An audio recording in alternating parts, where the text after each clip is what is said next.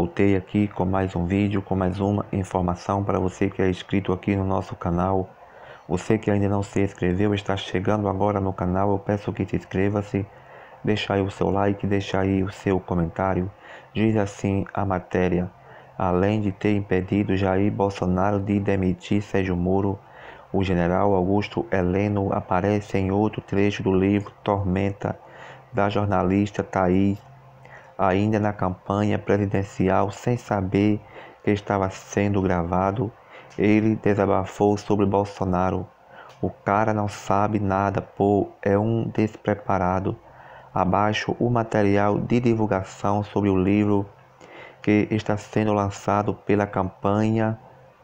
das letras e vídeos sobre o trabalho de Thaís um retrato implacável do primeiro ano de Bolsonaro no poder, de uma das eleições presidenciais mais popularizada da história republicana. Sai vitorioso Jair Messias Bolsonaro, ex-capitão do Exército que chegou a defender publicamente a tortura, autor de não mais que dois projetos de lei aprovados ao longo de 27 anos de mandato como deputado é merecedor de apenas três dos 512 votos de seus pares na última vez que tentou se eleger presidente da Casa.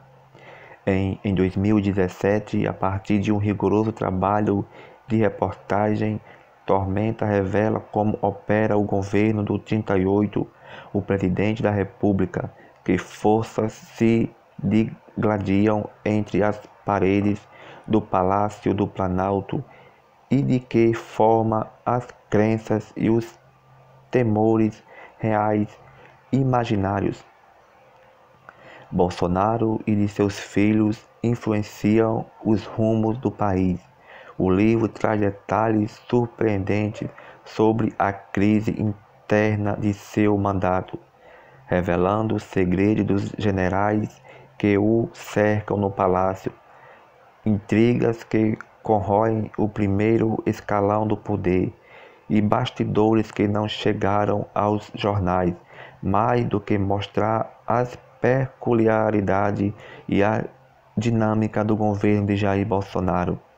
e de nos situar no calendário dos atribulados primeiros 365 dias de sua gestão a narrativa de Thaís ajuda o leitor a compreender o ano que passou e a vislumbrar o que nos aguarda.